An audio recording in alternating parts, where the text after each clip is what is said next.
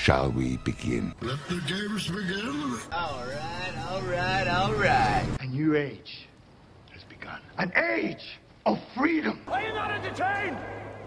Are you not entertained? Get to the chopper! This is going to be quite the ride.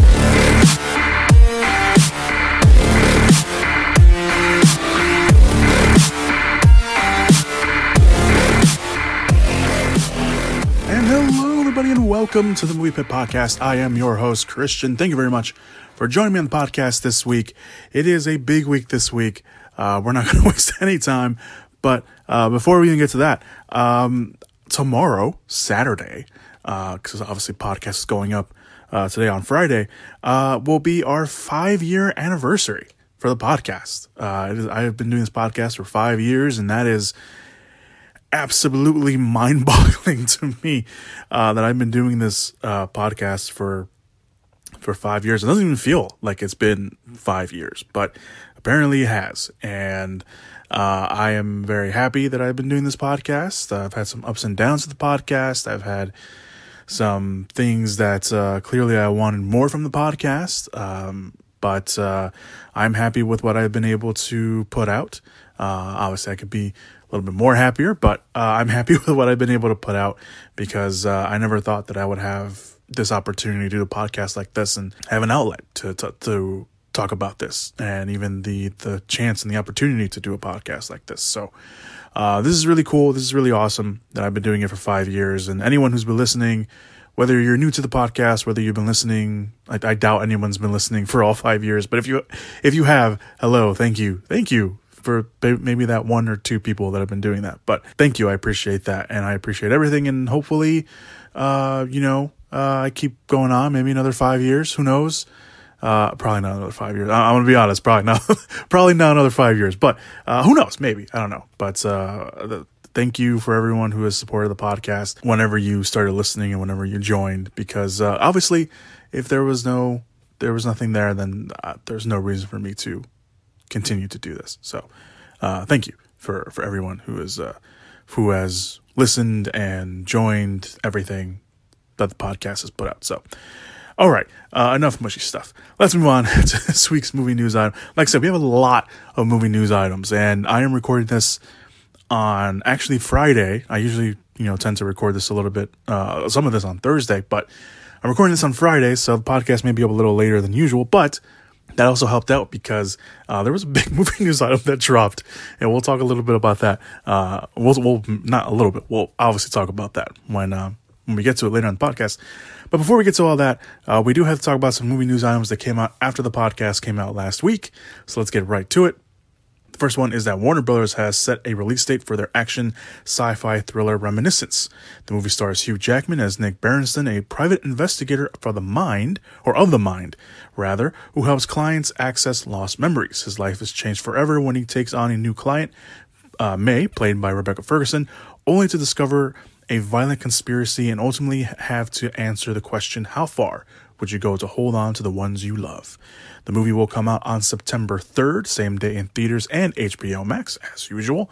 It's also directed by Lisa Joy, one of the writers and executive producers on HBO's Westworld, who will be making her feature directorial debut. She also directed uh, an episode of Westworld, and she's bringing along her co star from West, one of the stars, I should say, of Westworld, Thaddeus Newton, to the cast. So there you go. Uh, there's that. The next movie news item that came out after the podcast came out last week.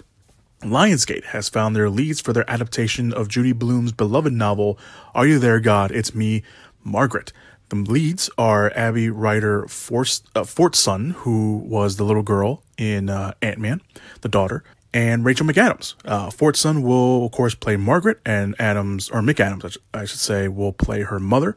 The movie will be directed and written by Kelly Fremon Craig, who did the excellent The Edge of 17. If you've not seen The Edge of 17, I highly recommend that. Uh, with Blume acting herself as a producer. So she will be a producer on the movie. In fact, Blume signed off on the adaptation after Fremon Craig flew down to meet her in Florida. And when it came to pitch the movie to studios, Lionsgate reportedly transformed a conference room into an 11 year old girl's bedroom, including uh, which included pictures of executives as 11 year as 11 year olds, all in an effort to woo the director and Blume. And obviously, it worked because Lionsgate will be releasing the movie. Next movie news item, a very cool and exciting team up, if I do say so myself, is happening. Tom Hardy is set to produce and star in Gareth Evans' new action movie, Havoc. Evans, by the way, the director of the Raid movies. The log line reads like this After a drug deal gone wrong, a bruised detective, Tom Hardy, must fight his way through a criminal underworld to save a politician's estranged son son. Wow, that that apparently I can't say that word. Uh, while unraveling a deep web of corruption and conspiracy that enthralls his entire city. Hardy, uh, of course, had Capone released earlier this year. He also has Venom: Let There Be Carnage coming out later this year. Maybe uh, we don't know if that's going to get pushed back or not. Evans uh, hasn't had isn't working on any new movies, at least from what I can tell. But he does have his TV series Gangs of London, which is very very good. If you haven't checked it out, uh, it's on AMC Plus. Although you can get AMC Plus like a week or like a month free um, if you have Prime Video. So I recommend that just so you can watch Gangs of London because Gangs of London very very good. Uh, no word yet on a release date or production, but uh, hopefully it's sooner rather than later because uh, I think that's a really cool team up. Uh, Paramount Pictures, which we will also talk about later on the podcast, is nearing a deal to hire Edgar Wright to direct a new adaptation of The Running Man. The original, which came out in 1987, of course, starred Arnold Schwarzenegger. It was based off the futuristic novel by Stephen King, which he actually published under his pseudonym Richard Bachman. Uh, Michael Bacall, who actually wrote Edgar's uh, Scott Pilgrim versus the World, uh, and he also wrote 21 and 22 Jump Street, will write the script, and reports say that his script will be more faithful to the novel than the original movie was. I don't know what the change. I forgot to look up what the changes were from the novel to the to the book, but uh, apparently there was enough of them that they wanted to be more faithful to the book this time around. The movie will also be produced by Simon Kinberg. He was one of the producers, one of the mega producers, really, of all the X Men films over at 20th Century Fox when it was still 20th Century Fox. Um, he will be producing through his genre films banner, and actually, it was Kinberg who brought the idea of redoing the movie to Paramount and Edgar Wright. Uh, interestingly enough, Wright said back in 2017 that if he could remake any movie, he would actually choose The Running Man. So this is all kind of uh, this is all kind of just uh, worked worked in Edgar Wright's favor.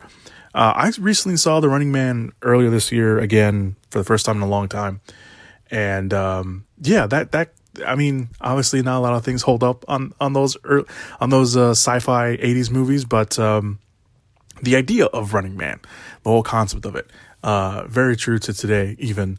And uh, yeah, that could that could definitely use a uh, a retool, a, kind of an update, a fresh and a, a more fresh update uh, with today's you know technology and today's society, which is not all that different from what the Running Man uh, kind of kind of had. So uh, I'm all for this, and I love I love Edgar Wright. I love everything he's done. So I'm I'm all I'm all for this. And finally, uh, the last bit of movie news items that came out after the podcast went up last week. It's actually a pretty big one.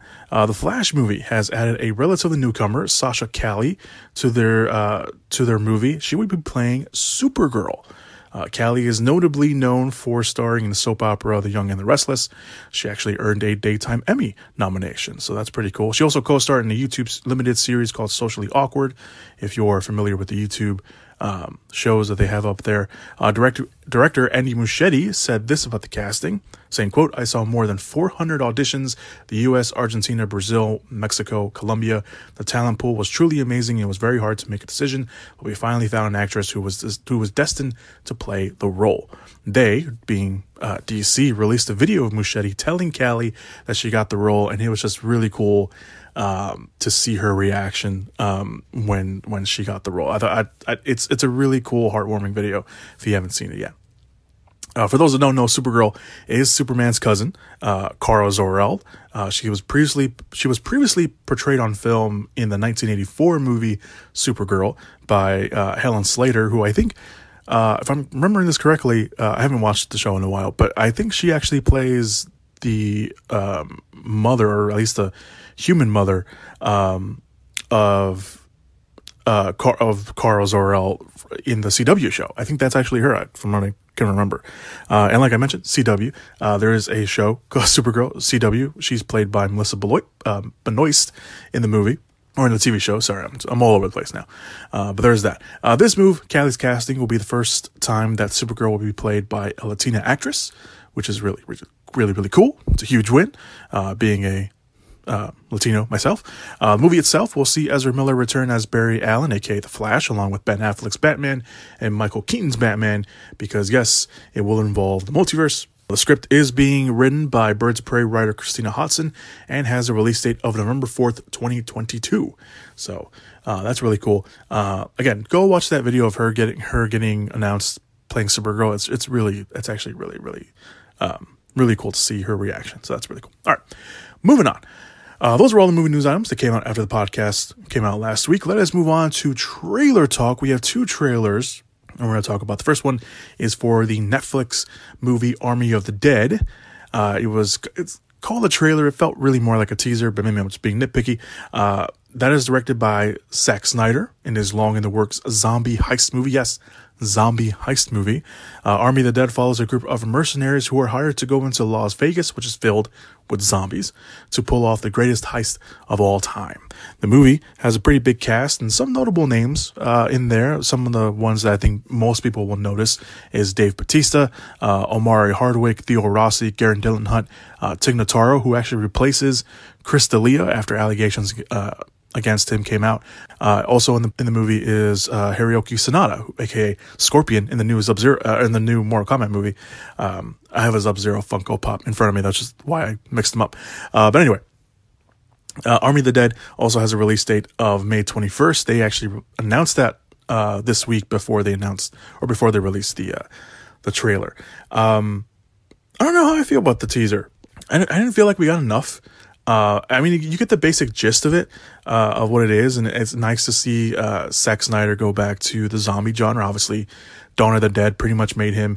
I, I would say that Dawn of the Dead made him a household name for nerds, for like movie nerds like us who you know pay attention to directors and stuff.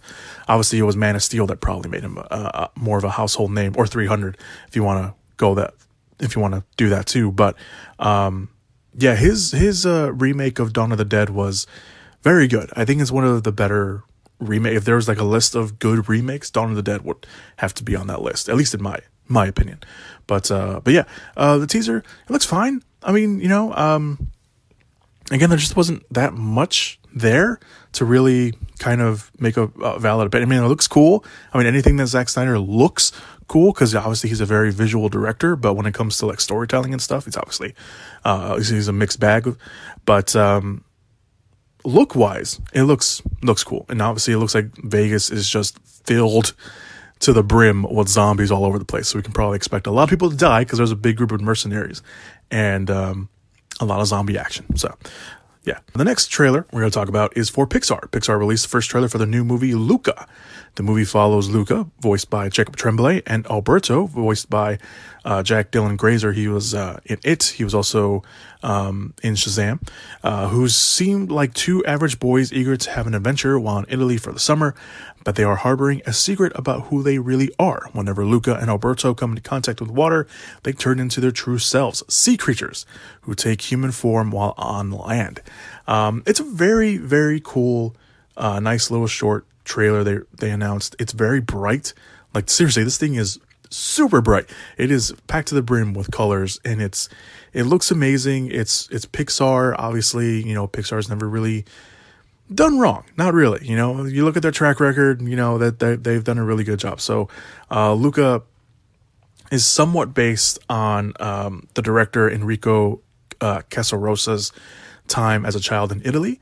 He said that he based Alberto off someone that he got to know uh, as well. So it seems like kind of a real personal film for him as well, which uh, which which always you know leads to better films because you know the director has some attachment to the to the product. It's going to be really it's going to be even better. But uh, yeah, uh, Maya Rudolph and Jim Gaffigan will also part of the voice cast. They will actually be the voices of Luca's parents, and Luca opens on June 18th. Like I mentioned, it's very it's it's it it looks great. I mean, it looks like uh, Luca and Alberto also have another friend uh, who may be a human. It doesn't look like she's actually a sea creature, uh, unless they're hiding that in the movie. But um, yeah, this trailer is really it's really it's it's a nice it's a nice way to introduce you know this this world that they're doing and and stuff and they do show them as sea creatures in the trailer so the synopsis isn't spoiler because it's in the trailer itself but I, I think it's really cool all right, uh, so let's move on to. I'm moving very very quickly because again we have a lot of movie news to get to, uh, so forgive me if I'm moving a little quickly.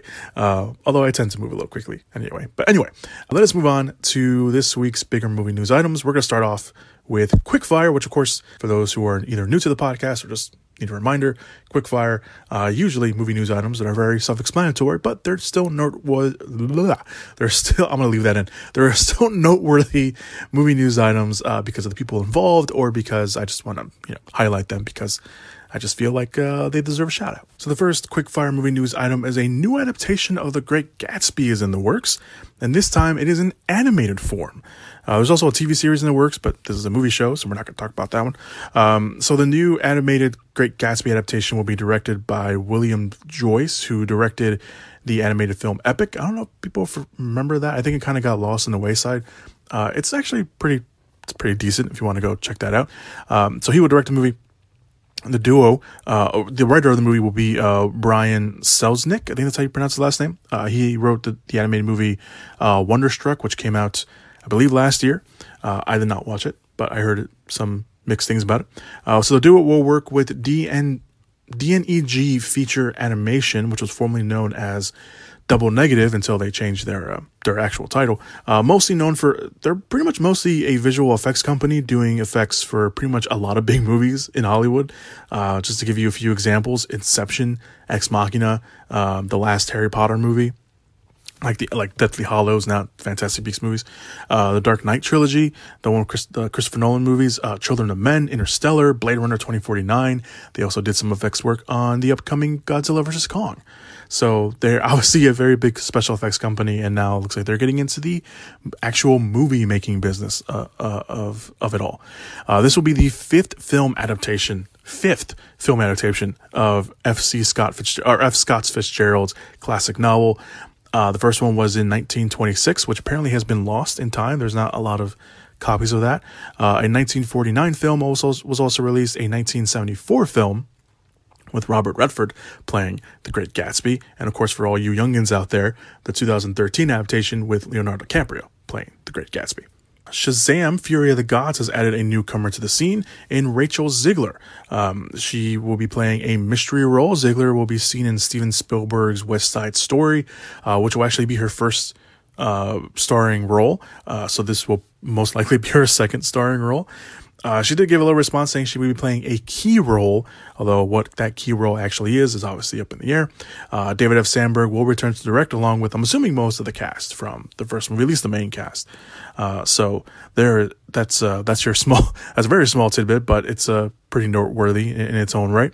Uh, Ryan Gosling has signed on to star in The Actor for director Duke Johnson, who directed. Um, Anomalisa, if anyone remembers that movie. The actor is based off a Donald E. Westlake novel titled Memory. The book, a hard boiled noir, follows New York actor Paul Cole, who was beaten and left for dead before waking up with no memory in a mysterious small, time, small town in 1950s Ohio. As he struggles to get back, uh, back, back home, Paul must piece together and reclaim the life and identity he lost.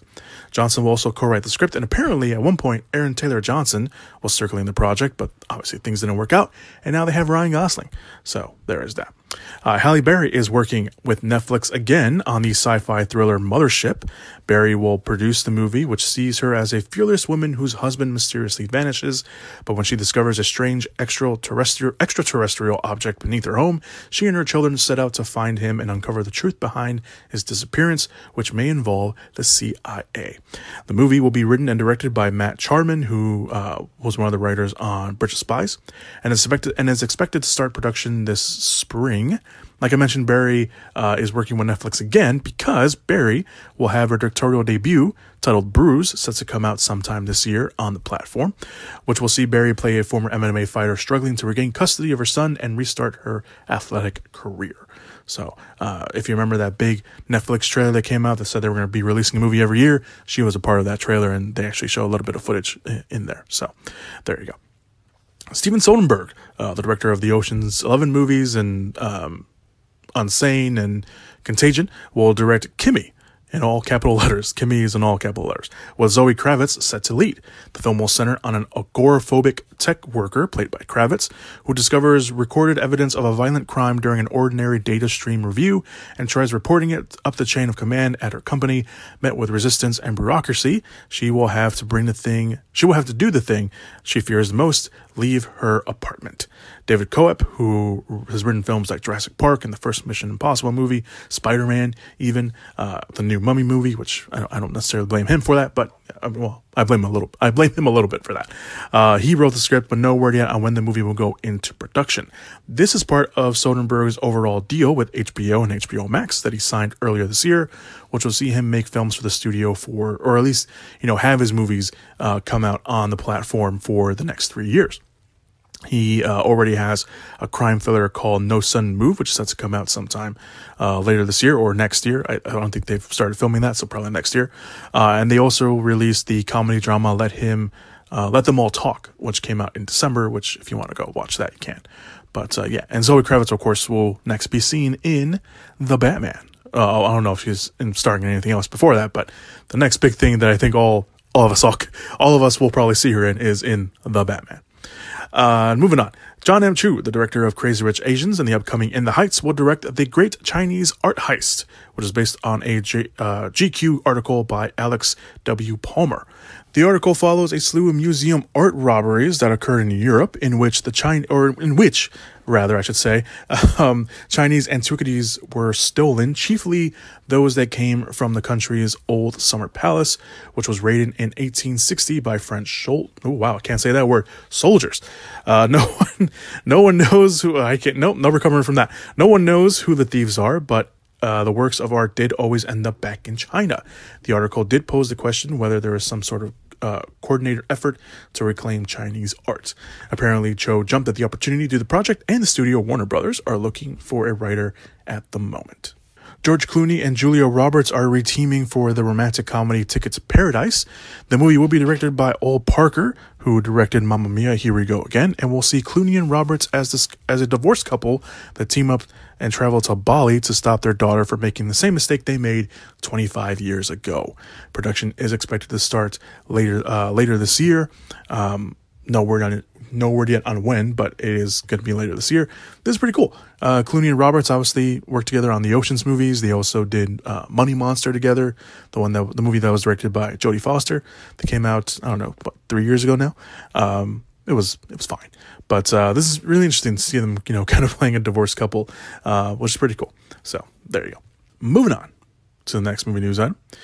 Uh, a fourth Jeepers Creepers movie is be uh, has apparently already filmed. Just it's already been filmed. Uh, the movie is called Jeepers Creepers Reborn. Uh, and has a release date. The movie was bought by Screen Media this week and will come out later this fall. No exact release date, but it will come out this year. The fourth movie is directed by Timo. I'm going to butcher his last name. Uh, Vinsola. That might not be right. Uh, he directed the Iron Sky movies, the one where the Nazis, you know, have a secret base on the moon. Uh, if you remember those movies that came out uh, a handful of years ago, and is part of a planned new trilogy. Now, here is the log line for this crazy fourth Jeepers Creepers movie. The film follows. Uh, the film unfolds as the Horror Hound Film Festival holds its first ever event in Louisiana, where it attracts hundreds of geeks, freaks, and die-hard horror fans from far and wide. Yes, this is how the log line says it. Among them is fanboy Chase and his girlfriend Lainey, who is forced to come along for the ride. But as the event but as the event approaches, Lainey begins to experience unexplained premonitions and disturbing visions associated with the town's past, and in particular, local legend, urban myth, the Creeper. As that just sounds wrong. As the festival occur, or as the festival arrives. And blood soaked entertainment builds to a frenzy. Lainey believes that something unearthly has been summoned, and she and she is at the center of it. Uh, like I said, the movie has already filmed, but no word yet on the cast unless they announce the cast later with a trailer. But I'm just going to say that if it's already filmed uh, and they haven't announced the cast with this announcement, it's probably going to be filled with a bunch of people we don't know. Uh, so yes, there is a third Jeepers Creepers movie uh, that came out. So pretty much no fanfare, especially after people found out, or especially after more people found out that uh, the director of the Jeepers Creepers movies uh, was sent to jail for uh, child pornography. Uh, but uh, yeah, that's probably not a good thing. Uh, and now, obviously, looks like they want to reboot Jeepers Creepers for some. I, I don't know. Um, there, there's I don't know how you continue that, but I don't know how to go forward from that. But uh, new director, uh, probably a new writer. They probably have no involvement with uh, the original director at all. So I mean, if they want to reboot Jeepers Creepers, I mean, the movie itself lends itself to Jeepers Creepers. I mean, if you want to follow the same mythology from the old movie into this movie, you know, it's every 23 years for 23 days he, he comes out and he you know, kills people and eats people. So I mean, you know, that that just lends itself right there for for reboots and, and sequels and stuff. So um, I don't know if I'll check it out. Maybe I'll just wait for the trailer, but we'll we'll see. Uh, moving on. Uh, we only got we got two more quick fire movie news items to, to get through. Uh, Guy Ritchie is about to wrap up on his latest film, Five Eyes, with Jason Statham, but he's already eyeing up his next project for Paramount Pictures. Uh, Paramount has hired Ritchie to direct the World War II adaptation, Ministry of Ungentlemanly Warfare. Yes, that is the name of the book by Damien Lewis. Uh, the book was actually written or released, I should say, published back in 2015, which is when the studio, or at least that's when the studio picked up the uh, the rights for the rights for the book. Uh, the book takes place in 1939 when Winston Churchill decided to fight the Germans with Britain's first Black Ops unit. Uh, so you can expect how this movie's going to work out. On top of all this, Jerry Bruckheimer will produce the movie with Arash Amel, who wrote A Private War, which I have not seen, but I've heard some pretty good things about it, having written the latest draft of the script. So there you go. I'm all game for more Guy Ritchie. Uh, I I think Guy Ritchie has uh, kind of made a comeback a little bit. The Gentleman was uh, was very was very good. Um, I was pro- I'm probably one of the handful of people that really like or that really liked from the beginning uh, Man from Uncle. But uh, you know we'll, we'll see how this works out. All right, so this is the final quickfire movie news item. Uh, Netflix will adapt the best selling novel I Am Not Your Perfect Mexican Daughter and has found its director, and a fitting one, in America Ferrera, who will make her feature film directorial debut. Author of the novel, Eric Sanchez, will be an executive producer on the movie, and the movie will be written by Linda Yvette Chavez, who is the co-writer of the Netflix series uh, Gentefied, which uh, is supposed to be very popular on the platform. Uh, I've seen a few episodes because my sisters and my mom watch it, and I kind of walk in on them watching it every now and then. And uh, it, it, I mean, from what I've seen, it's it's pretty good. It also you know touches on issues and stuff, but um, from what I've seen, it's actually it, it seemed like a pretty good show. Anyway, uh, the book was released back in 2017, and I believe it's actually been made into um, into a play. I think my sister saw like a show, uh, a play, uh, like a show adaptation of it. Um, here in, in the city, um, Chicago, by the way. Uh, but follow, but anyone who doesn't know any anything about the the book, uh, it follows a story. It follows a story of Julia Reyes, the precocious and strong-willed teenage daughter of first-generation Mexican immigrants. She often clashes with her more traditional parents, who wish she were more like their sister, or more like her sister, Olga the platonic ideal of a Mexican daughter. However, when Olga is killed in a tragic accident, it is up to Julia to hold her family together. Took a turn, didn't it? You didn't expect that. Um, but uh, uh, I've heard nothing but some really good things about the uh, about the book. I have, I have not read the book, but I've heard some very good things about it. And America Ferrera, obviously from uh, Superstore, and for whatever reason, Superstore is the only thing that comes to my mind. Uh, she was in the TV adaptation of Ugly Betty. That was years ago, but she was in that. She's also, but she's been in a bunch of other stuff. I just, for whatever reason, Superstore comes to my mind because I watch Superstore. Um, it's a TV show on NBC for those you for those that don't know. But um, this is pretty cool. Uh, I know a lot of people who really like that book, uh, and I again I've heard nothing but great things about that book. So, and it looks like you know they're not gonna be like, oh, we're gonna hire a white person. Nope, they're hiring all Mexicans or all Latinos, I, should say. So that's pretty cool. All right, that's your quick fire movie news items. Let us move on to this week's big movie news items of the week. All right, we're going to start off uh, after some lively jokes that came out online. Tom Holland, Zendaya, and Jacob Batalon revealed the official title of Spider Man 3, and it is Spider Man No Way Home. And the movie will officially come out on Christmas or December 25th for all those who don't celebrate Christmas, or at least around that Christmas time. Uh, we don't know too much about the movie, despite all the crazy news bits that have been coming out, like old Spider-Man actors and villains appearing in the movie. Although you know they've kind of tried to downplay that and say that's none of that is actually. Some of those news items that have come out are not actually true, so we'll have to wait and see on that.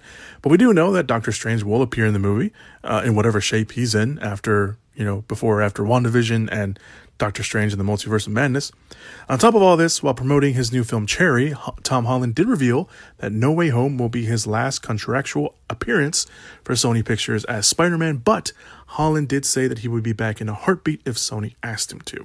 We'll have to see how. Uh, how that plays out. Uh, no Way Home. I'm not, you know, I'm not, I'm not opposed to the title. I, I do hope, I, I do want to see the context of it, uh, of, of why it's called No Way Home. But um, title's fine. I, I don't hate it. Yeah. Uh, so moving on. Um, let's move on from Marvel to DC. DC is moving forward with their Blue Beetle adaptation, and now have a director. Uh, Angel Manuel Soto, who directed Charm City Kings, which you can watch on Netflix, is set to direct the movie for, uh, by a script by Gareth Dunnett Allseer, who uh, he wrote uh, Miss Bala a couple years ago. Uh, the movie will also be the first Latino superhero, um, which is again being a Latino, very very cool. Uh, the character has been around for a while. Uh, I was all the way back since 1939. Uh, will be working with the incarnation of the character that came out from um, the Infinite Crisis event in 2006 all my comic book people will know what that means.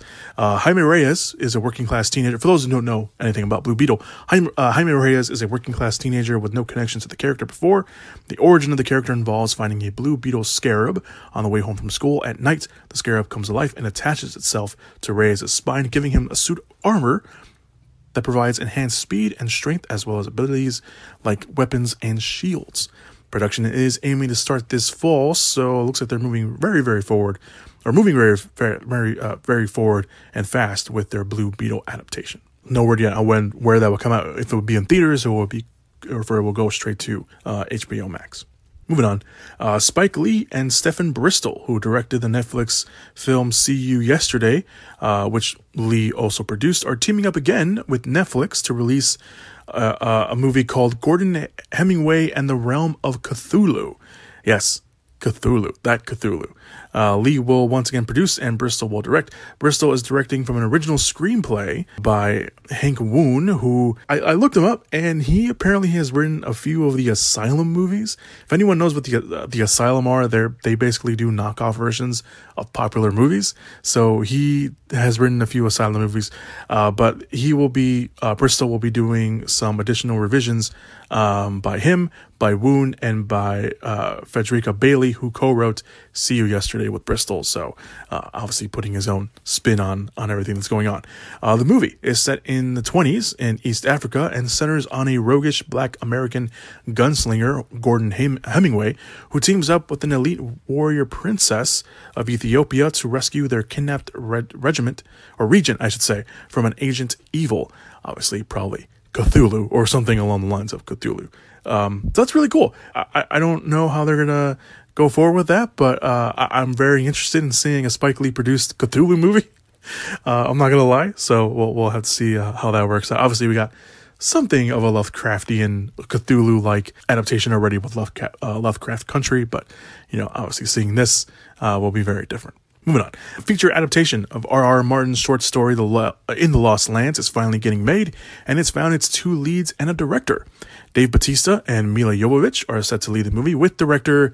Yes, you guessed it. If Milla Jovovich is involved, you can probably assume who's directing. Her husband, Paul W.S. Anderson. The short story involves a queen who is desperate to fulfill her love, so she hires a powerful sorceress named Gray.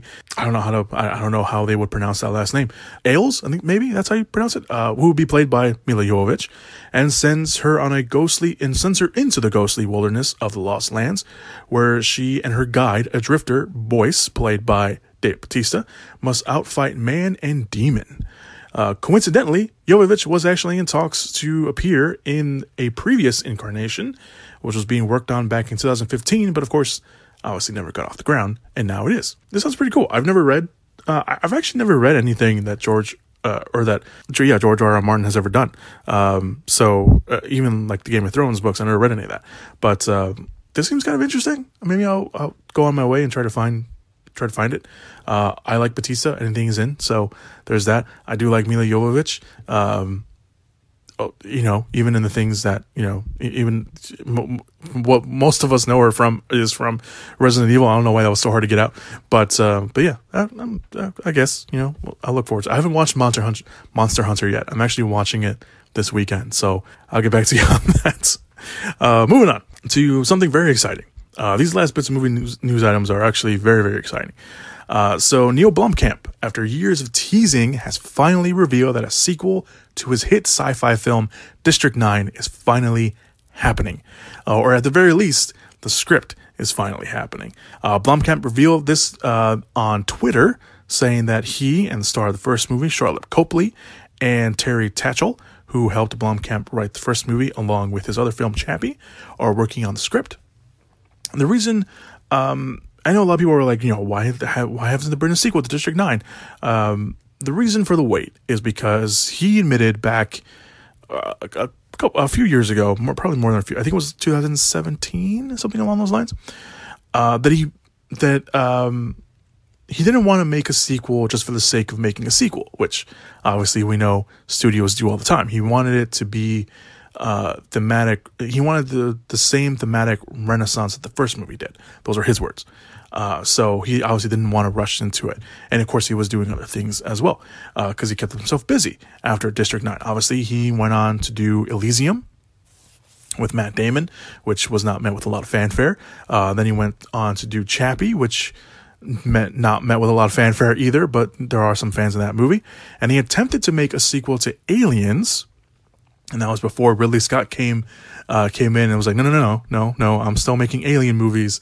I'm going to make Alien Covenant, and then you know, obviously, uh, 20th Century Fox went with Ridley Scott instead of Neil Blomkamp. Uh, then he wanted to do a reboot of RoboCop, but that ended up going in a different direction entirely, so he dropped out of that as well. Uh, he finally made Oat Studio, which is where he releases a bunch of short films. Uh, they're all online if you want to go check them out. They're very, very good. And uh, Blomkamp has uh, been also working on a sci-fi film called Inferno, which apparently he was working on before the pandemic shut everything down. And then he switched, I guess, to another movie called Demonic. Uh, but there's no updates on either one of those projects yet. But uh, all that's all that's said and done, District 10 is finally. I don't know if he's going to call it District 10, but all the sequel to District 9 is happening and it's being worked on. So um, don't expect it very very soon. But uh, you know, at least they're writing a script for it, and I think. Um, that's you know that that's good enough for that's good enough for me honestly. District 9 was probably one of the best sci-fi movies that have come out in a long time when it came back out in 2009 um i honestly have not revisited I, I think the last time i saw it was maybe a handful of years ago.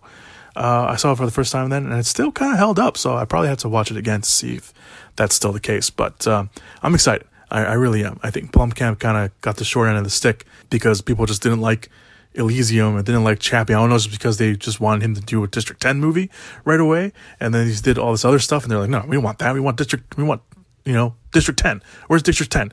And, and he was just like, no, I'm just going to go and do my own thing. And he did. And I mean, it's worked. Oat Studio is very, very good if you want to go check that out. All right, moving on. Uh, Shudder, the horror streaming service, has nabbed the rights to The Amusement Park, which is a newly restored lost film by the late George A. Romero, uh, which they plan on releasing this summer.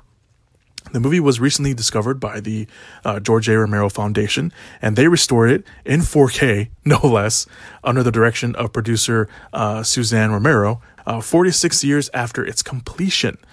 The movie is not a horror movie, so at least per se, it's not a horror movie, uh, at least from the comments made by Suzanne Romero, so prepare yourself for that. The film follows an elderly man who finds himself disoriented and increasingly isolated as the pains, tragedies, and humiliations of aging in America are illustrated by his journey among roller coasters and chaotic crowds. The film is seen as an allegory, as much as pretty much every other Romero movie, about the, about the nightmarish realities of growing older and as a snapshot of the filmmaker's early artistic capability and style.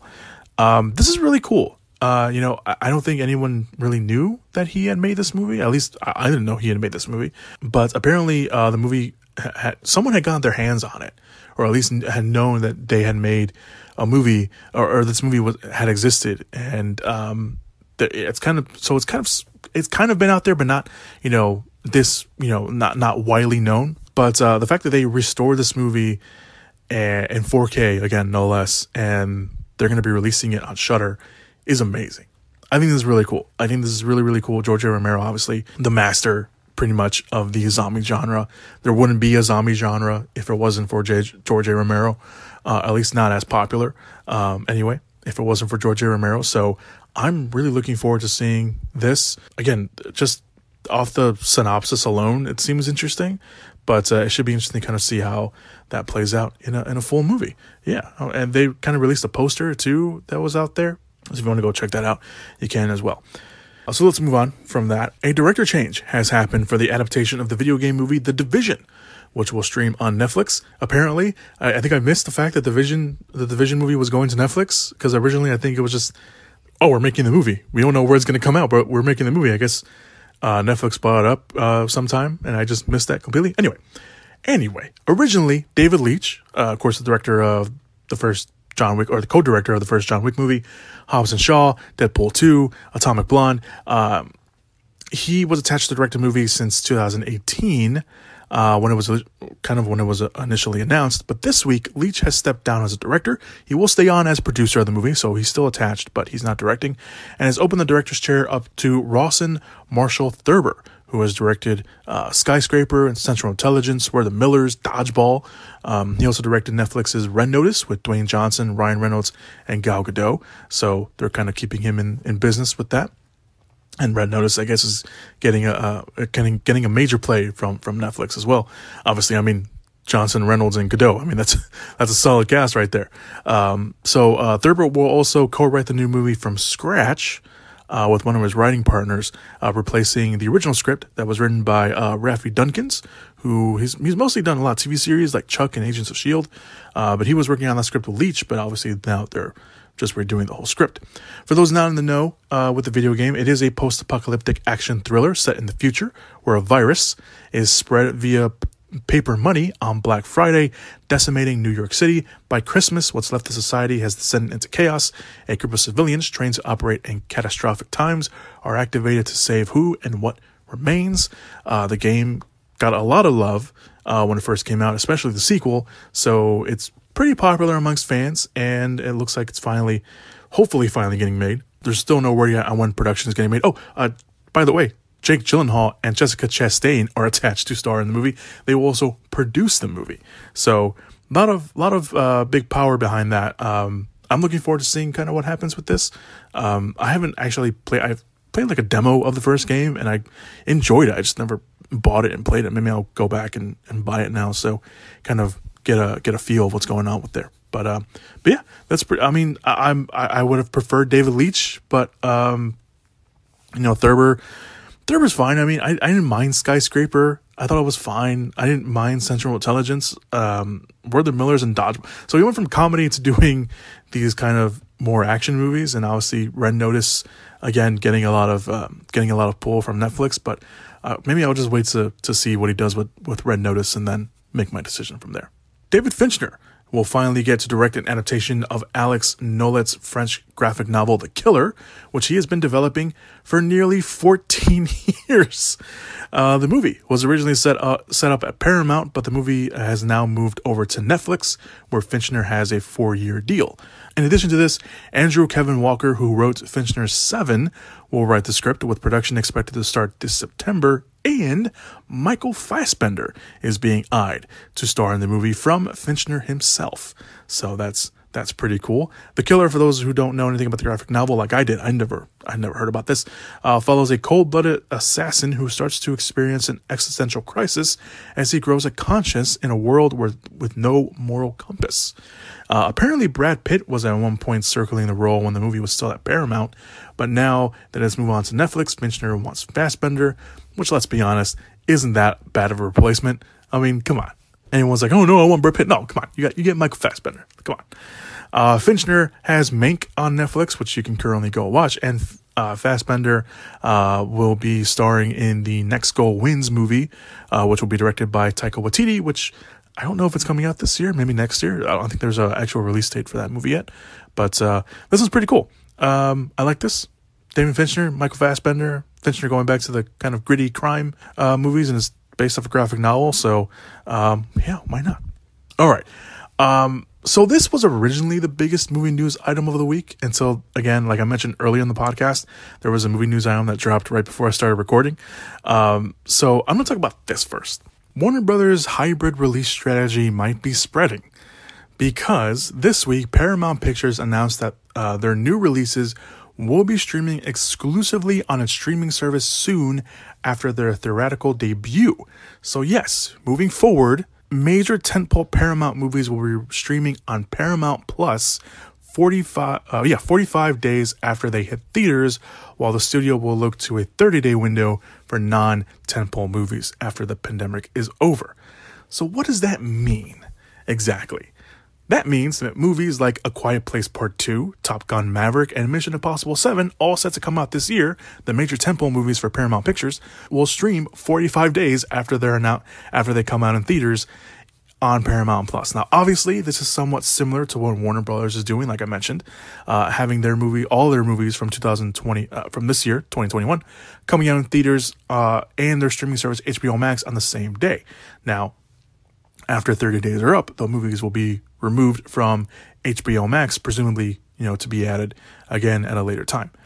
Paramount Plus, by the way, is currently CBS All Access. They're going through a rebranding um, on the streaming service. So if you have CBS All Access already, you don't have to worry about downloading another streaming service. It's going to switch over to Paramount Plus um, next week on, on the 5th. So you don't have to worry about that.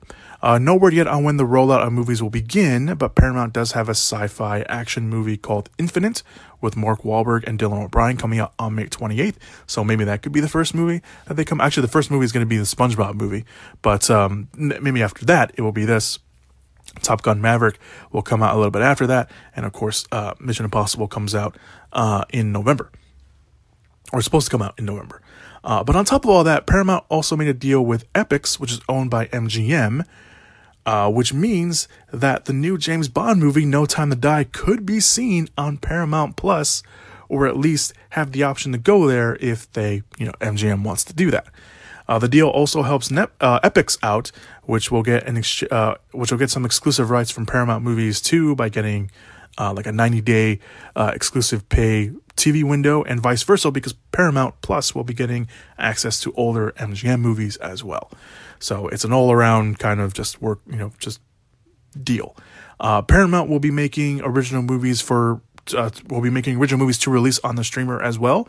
The already announced Paranormal Activity retool that we talked about in the podcast last week will be released on Paramount Plus. They also announced a new Pet Sematary movie, which will be an origin story uh, that will come out on Paramount Plus, and a movie called The In Between, which stars uh, Joey King, John Ortiz, and Kim Dickens about a teenage girl who survives a car accident that took the life of her boyfriend and then starts to believe that he's attempting to reconnect with her in the afterlife, will also be released on Paramount Plus. So, now we have Paramount doing this. Disney, of course, has Disney Plus, which will re- uh, release Raya and the Last Dragon next week. Warner Brothers has HBO Max, which will have Tom and Jerry come out this week, and of course, a slew of other movies um, for the rest of the year. Universal uh, uh, Pictures is putting their movies on premium VOD 70 days after their run, uh, after they come out in theaters, which uh, Universal doesn't really have anything big coming out. They already said that they're not going to release uh, F9 in premium VOD. They're going to stick that in theaters. So I don't know if they're going to do that. Who knows?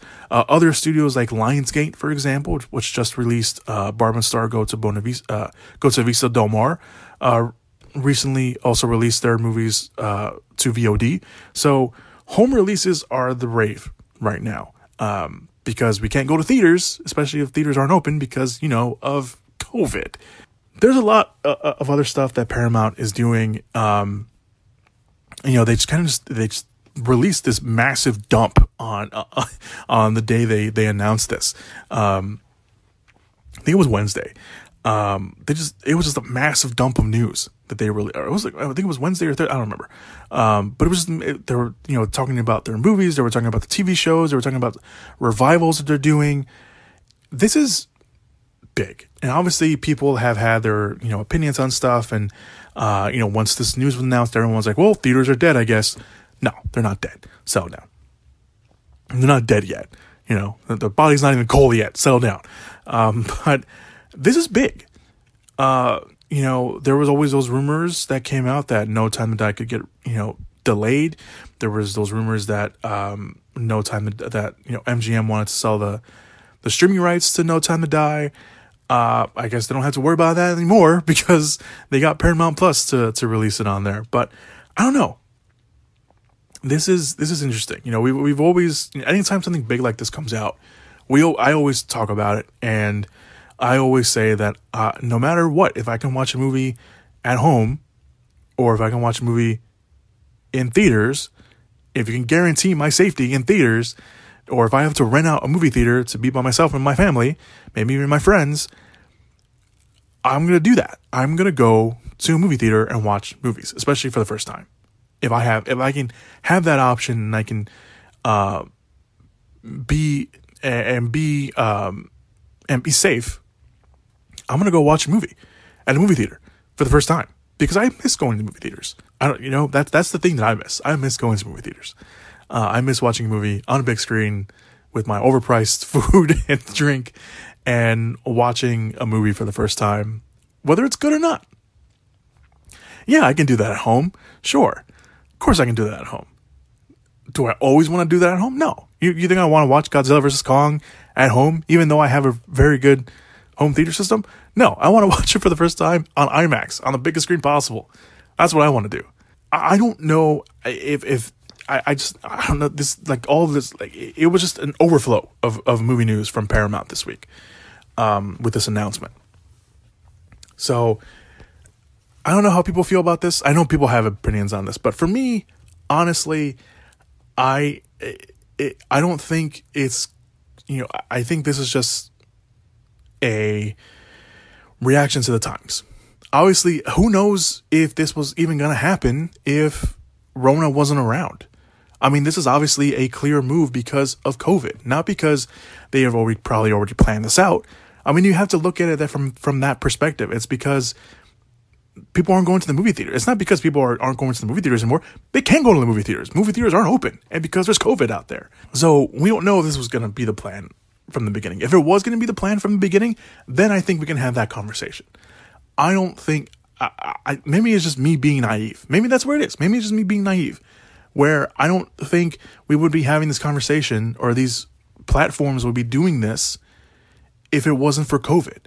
If it wasn't for the fact that movie theaters aren't open and they still want to release their movies because they know fans are dying for new movies at home. So that that's the conversation. Um, I, I think, and I don't know if I'm. I, don't think I can have this conversation by myself. I need someone else here with me to bounce off of. But yeah, I I, I don't. If, if this we would be then we would be having a different conversation if there wasn't coronavirus around. If they were going to do this anyway, then I think we can have that major con that major conversation of are movie theaters dead? Movie theaters are dead right now because they aren't they aren't open and because there's COVID and people aren't going to go to a movie theater if they know they can get the possibility of getting COVID. That's just that's the truth. So I don't know. Uh, as for the move of Paramount, I think this is pretty cool. Uh, obviously, the 45 day window is is interesting. You know, they're not doing they're not completely following Warner Brothers. They're they're still releasing their movies in theaters because they want that revenue from theaters. Um, and then they're going to release it on on the stream platform, which is fine. So yeah, I don't know. It's just there's it's it, I don't know what to say. I really don't know what to say other than what I've already said in a very disjointed fashion. I apologize. You'd think after five years I would be able to put a complete sentence together, but no, no, I haven't. Which is probably why the podcast isn't where it wants to be. Uh, anyway, let's move on to the final movie news item of the week. Uh, self deprecation, my specialty. Uh, Deadline is reporting that a Superman reboot Yes, a Superman reboot is in the works at Warner Brothers, and it has a producer and a writer. The writer is author, I'm going to mispronounce his name, and I apologize, uh, Ta Nehesi Coates. I hope I'm pronouncing that right. Uh, will, will and he will they, he will be writing the movie and will be produced by J.J. Abrams, who will produce under his Bad Robot banner. There's no word on uh, what they're going to do with the reboot, but the outlet does say that Henry Cavill is eager to return, so maybe it's a soft reboot or something along those lines. Uh, the news just broke, so we'll obviously have to keep an eye on on what it is. If it's going to be a hard reboot with no Henry Cavill, or it's going to be a soft reboot with Henry Cavill, who knows? Coates is attached to the Ryan Coogler drama called Wrong Answer, which itself is based on a true story about a math teacher in Atlanta who alters students' test grades to get the school for, for the school to get more funding, uh, which was of course a big scandal. Uh, Michael B. Jordan is actually attached to that as well. Uh, but Coates, on top of that, is a national correspondent for The Atlantic and covers cultural and social, uh, cultural, social, and political issues, specifically that of African Americans and white supremacy. He's also written for other big uh, public, uh, publications out there. And he's also written nonfiction books. One of his books uh, actually won him the 2015 National Book Award for nonfiction. But if you're wondering why someone uh, like him is writing a Superman movie, a comic book movie, a movie about the possibly, argu- arguably, the most well known comic book character of all time, uh, Coates has written for Marvel Comics. Uh, he has written for Black Panther and Captain America, uh, and even received a special thank you credit in Avengers Infinity War, Endgame, and Black Panther. And what about Abrams? Why, why is he attached to this? Just because, you know, they wanted a big name producer attached? No. Abrams actually does have a history with Superman. And he also has a history with Warner Brothers and the DC Universe as a total, but he does have a history with Superman because he did a script for Superman called Superman Flyby, which of course never got made, but he has a script out there, uh, which I think you can probably find if you look in the right places. Uh, but Abrams, along with his Bad Robot banner, are also uh, also have a working relationship with Warner Brothers because Abrams is developing a Justice League Dark Universe for film and TV. So, yeah, uh, I'll let your comic book nerdy minds come up with something there uh, for for all of this. But this is this is big. This is huge. You know, there's been there's always been these rumors that maybe Warner Brothers is going to reboot Superman. Um, there was always that thing of whether or not Henry Cavill is going to come back or not. Uh, Cavill has said that he would be, you know, he wants to come back and do a Superman movie now with this movie news, we don't know if it's again going to be a full blown reboot or just a reboot or just a soft reboot rather, and they're just gonna. Uh, we don't know. I, I don't know. I, I the second movie news item where I don't know what's gonna happen. The news literally broke right as I was about to record, and I had to stop and had to you know look at it and and write my little uh, my little tidbits here. But this is big. Um, this is real big. I, I don't know what more to say. I, I hope, you know, I, I know, you know, with the Snyder cut coming out, I think people want Cavill to stay as Superman. I don't think they want, you know, that drastic change already. You know, we're already losing, we're already losing Ben Affleck's Batman, which I know some people are happy about. Um, I'm not. I, I, actually like Ben Affleck's Batman, but uh, I, I don't know what they're going to do with this uh, uh, reboot. The, the the wording they use is reboot, so they don't use they don't use like soft reboot or anything. I'm assuming it's probably a soft reboot, especially if Cavill wants to come back. But if they go full blown, uh, if they go full blown reboot, it's going to be very interesting to see how fans take that news and what exactly a full blown reboot of Superman uh, with their potentially somewhat already connected movies uh, will play into. Um, I hope they don't reboot it because I, w- I would love to see Henry Cavill do another solo Superman movie. So hopefully it's a soft reboot and he can come back uh, and, and, you know, do it. And I, I, don't know. I don't know. Again, it just broke when I was about to record. So uh, I just I just wanted to bring that up and and and hope that you know they don't uh, they don't go full blown hard reboot and uh, and allow uh, Henry Cavill to come back if he wants to come back. All right, uh, and that's it. That's all the movie news items that have come out this week. Uh, at least at the time of this recording. Uh, hopefully, this podcast doesn't come out too late because again, I am recording this on Friday early afternoon. But uh, uh, thank you guys so much for listening to the podcast this week. I very much appreciate it. Uh, let me know what your highlight movie news item was uh, and uh, in the wherever you can whether if you're listening on youtube you can just hit that right there in the comment section. If you're listening to this on apple podcast stitcher or spotify you can go to the social media accounts. We have an instagram and a twitter all at movie pit pod. Uh, right movie pit pod or uh, movie pit podcast? I can't remember i can't even remember my own social handle. Uh, well the instagram's new so i mean come, don't you gotta you can't can't blame me on that. But uh, but yeah, uh, thank you guys so much for listening to the podcast. Uh, go down below, check out the links for that. I'll have the trailers for Army of the Dead and Luca down there as well. Go check those out if you haven't already. And yeah, that's it. That's all I got for you guys. Thank you guys so much. Uh, here's to the five year anniversary of the podcast, which again is still mind boggling to me that I've been doing this podcast for five years, mostly by myself. Uh, I think that's that's the bigger accomplishment here that I've been doing the podcast mostly by myself for five years. I've had people come on and, and help me out, which is nice, but for the most part, it's just been me. And um, I could just be speaking to the void of the internet, uh, which is very sad and depressing now that I said that out loud. Uh, but I'm gonna, all right, I'm gonna go. Um, so thank you guys so much again for listening to the podcast. Hopefully you have a safe, fun weekend. Uh, be sure to continue wearing your mask, wash your hands. Don't be a dick. Don't you know? It's it. Don't just don't don't don't do it. Don't do it. It's not that hard. Be good people. And as always, go watch some movies. Whoop whoop! Yeah! Give it up! Movie!